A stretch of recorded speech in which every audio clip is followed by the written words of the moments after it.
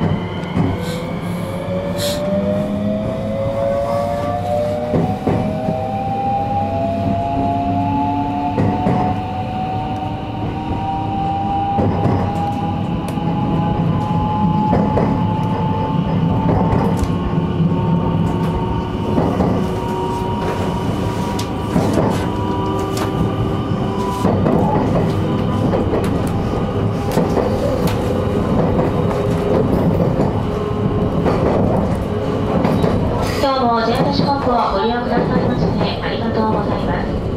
ストーン発生快速マリーライナー30号岡山駅です。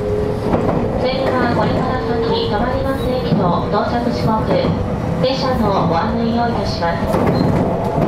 次は高出に停まります。高出12時24分の到着です。5時は12時39分。茶屋町12時48分瀬能12時54分終点岡山13時2分。終点の岡山駅には1時2分。6番乗り場の到着です。列車はご両様で運転しております。前から5号車4号車の順で一番後ろが1号車です。12時は前の4両5号車から2号車一番後ろの号車1号車は全席指定席です。お手洗いセーフリゾート組は1号車と4号車、全て前寄りにございます。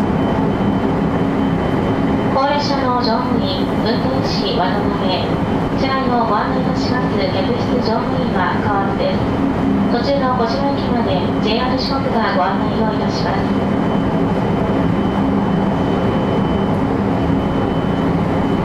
指定席ご利用のお客様にご案内いたします。あらかじめ指定席券をお持ちのお客様には、切符の拝見を行っておりません。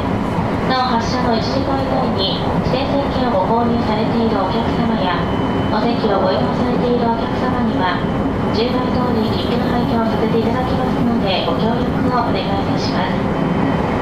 お時間のご都合などでまだ切符をお持ちでないお客様、乗り越し行き先の変更などその他ご用ございましたら乗務に参りました際にお知らせください。次の電車駅は境目でございます。12時24分の到着です。